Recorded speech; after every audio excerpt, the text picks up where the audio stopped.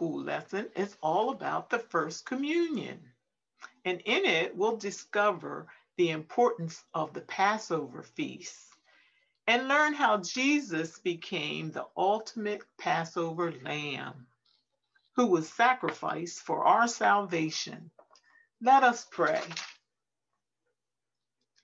Dear Lord, we thank and praise you for allowing us to be in your presence today.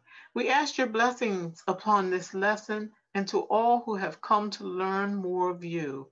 Help us, Holy Spirit, to rejoice and be glad in this day that you have made. Amen. Amen. Think about some events or activities that we celebrate all the time. You might think of birthdays, weddings, good grades and graduation, Christmas and Thanksgiving and Easter. That's right, Easter. And soon it will be Easter. Easter is the time of year when we prepare to celebrate a very important time in the life of our Lord and Savior, Jesus Christ. It's a time when he came to fulfill his mission on earth, and that was to sacrifice his life so that we might have eternal life if we believe. Let's take a look at our memory verse for today. Today, our memory verse comes from the book of John, chapter 1, verse 29.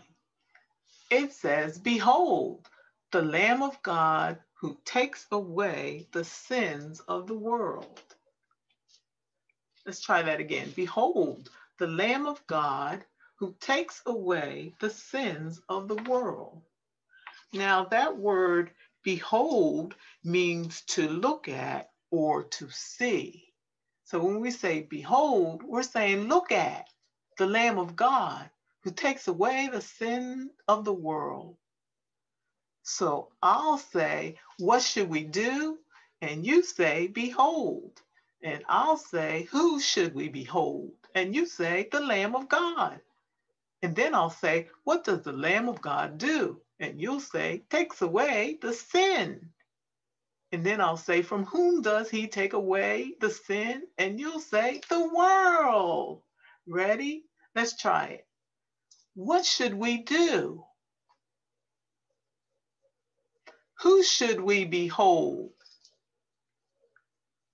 That's right. What does the Lamb of God do?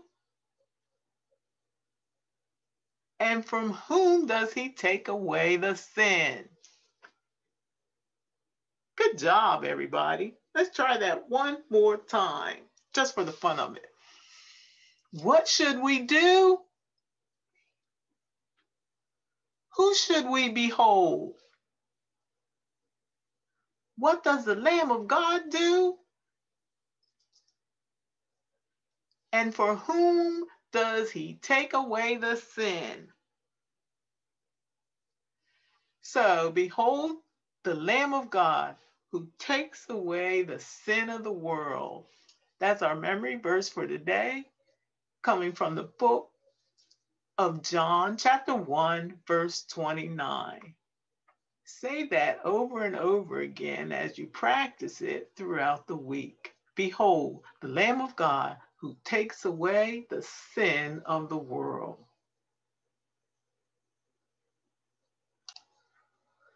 Let's take a look at our scripture reading for today. If you grab your Bibles and turn with me to the book of John, chapter 13, verse 1 through 17. That's what we're looking at today. It's all about Jesus washes his disciples' feet. At this time of year, all over the world, Christians will celebrate the First Communion. And that's what our lesson's about today the First Communion. And the First Communion is a feast really that honors the Last Supper of Jesus and his disciples. is the Last Supper before he completes his mission on earth. All right. Hopefully, you're at um, the book of John, chapter 13. And we'll take a look at verse 1 through 17. So, at the Lord's Supper before the crucifixion, Jesus washed the apostles' feet to teach them humility. The book of John, chapter 13, verse 1 through 17. It was just before the Passover feast. Jesus knew that the time had come for him to leave this world. It was time for him to go to the Father. Jesus loved his disciples who were in the world, so he now showed them how much he really loved them. The evening meal was being served, and the devil had already tempted Judas Iscariot, son of Simon. He had told Judas to hand Jesus over to his enemies. Jesus knew that the Father had put everything under his power. He also knew he had come from God and was returning to God. So he got up from the meal and took off his outer clothes. He wrapped a towel around his waist, and after that, he poured water into a large bowl. Then he began to wash his disciples' feet. He dried them with a towel that was wrapped around him. He came to Simon Peter. Lord, Peter said to him, Are you going to wash my feet? Jesus replied, You don't realize now what I'm doing, but later you will understand. No, said Peter, you will never wash my feet. Jesus answered, Unless I wash you, you can't share life with me. Lord, Simon Peter replied, Then not just my feet, wash my hands and my head too. Jesus answered, A person who has had a bath needs to wash only his feet. The rest of the body is clean, and you are clean, but not all of you are. Jesus knew who was going to hand him over to his enemies, and that was why he said not everyone was clean. When Jesus finished washing their feet, he put on his clothes and then he returned to his place. Do you understand what I've done for you? He asked them. You call me teacher and Lord. You are right. That is what I am. I, your Lord and teacher, have washed your feet. So you also should wash one another's feet. I have given you an example, and you should do as I have done for you. What I'm about to tell you is true. A servant is not more important than his master, and a messenger is not more important than the one who sends him. Now you know these things, so you will be blessed if you do them. Can you imagine washing someone else's feet? You might think, I don't even want to wash my own feet, let alone somebody else's. But Jesus did that to show how important it was to serve others. Why do you think people had their feet washed in Jesus' time? Most roads were dirt roads, and people usually walked everywhere they went. When visitors came into a house, they, lo- they took off their sandals, and usually the lowest servant in the house was ordered to bring water and wash the guests' dusty feet. Jesus was showing us how to be humble when he took the job of washing his disciples' feet. So that's why he. That's why he was washing their feet. And who normally washed the feet of visitors? That's right, the lowest servant in the house. And then we know that he Jesus did this as a lowly servant to show that no man is more important than the servant. So think of ways you can serve others. Start at home. Think of things that you can do to serve right at your own house, at school, or maybe at church.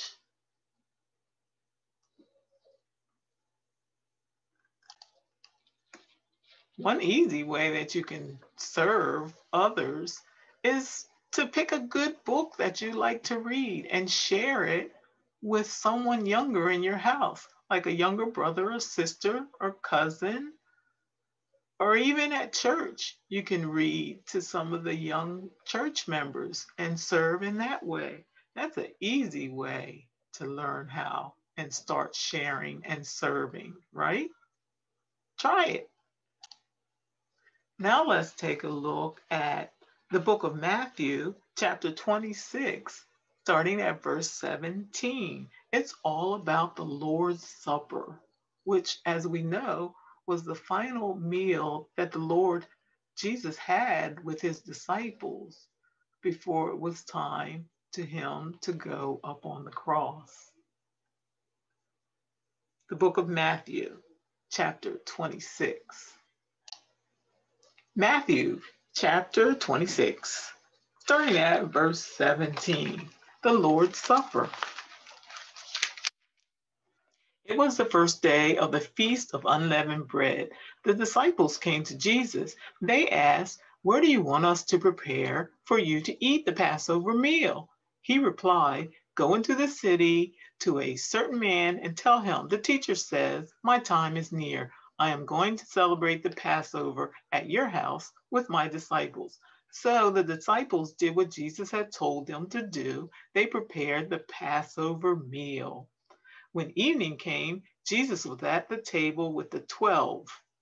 While they were eating, he said, What I am about to tell you is true. One of you will hand me over to my enemies. The disciples became very sad, one after the other. They began to say to him, it is not I, Lord, is it? Jesus replied, The one who has dipped his hand into the bowl with me will hand me over. The Son of Man will go just as it is written about him. But how terrible it will be for the one who hands over the Son of Man. It would be better for him if he had not been born. Judas was the one who was going to hand him over. He said, It's not I, Rabbi. Is it? And Jesus answered, Yes, it is you. While they were eating, Jesus took bread, he gave thanks, and he broke it.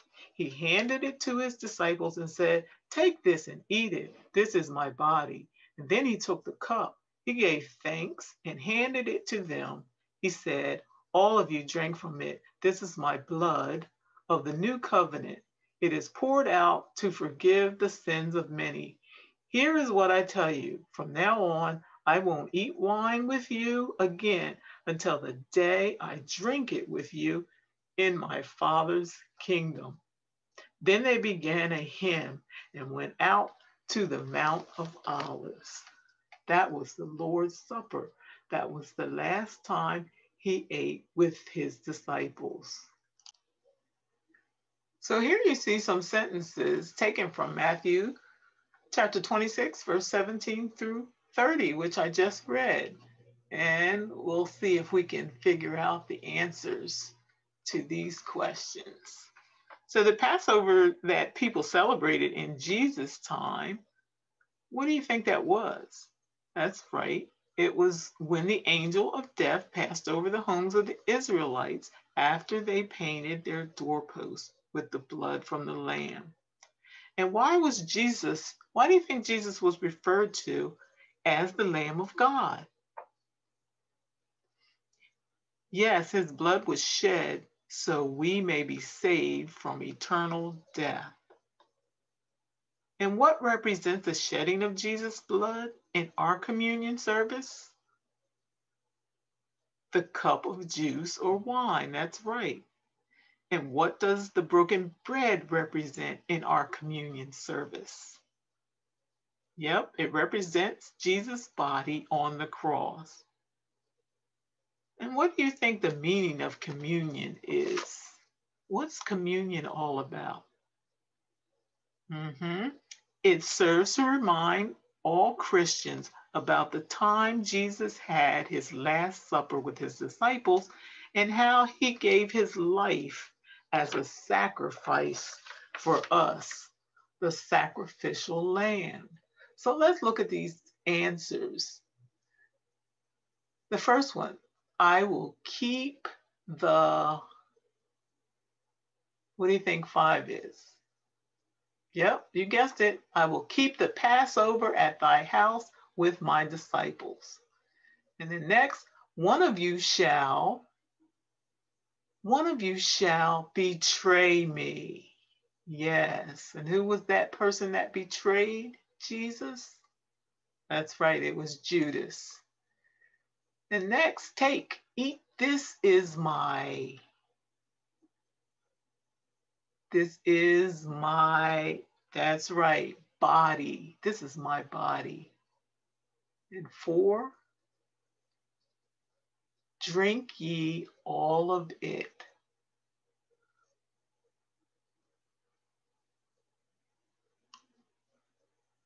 Drink ye all of it.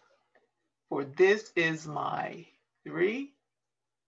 This is my blood of the New Testament, which is shed, that's right, which is shed for many for the remission of sin. And that's what we do in our church on the first Sunday of every month. We take communion, Uh, we call it Communion Sunday. Some of you may do it at different times of the month or year at your church. At our church, we we serve communion on the first Sunday of every month. And these are the elements of communion the cup, which holds the blood of Jesus, and the bread, which reminds us of Jesus' body that was broken for us.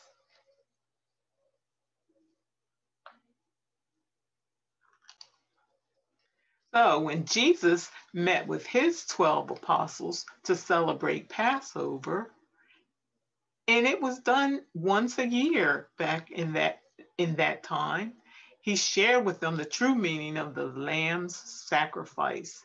Jesus knew that his time had come, and he knew that his own body would be crucified and his blood will be poured out for many. So everyone who believes in him can be saved. So whenever we take communion, remember these things. Let us pray.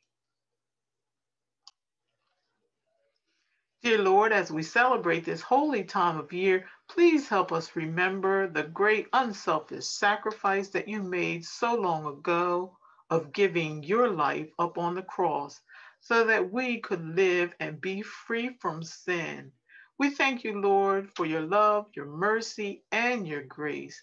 And we pray for your guidance and your protection until we meet again. Amen. Have a blessed week, everyone.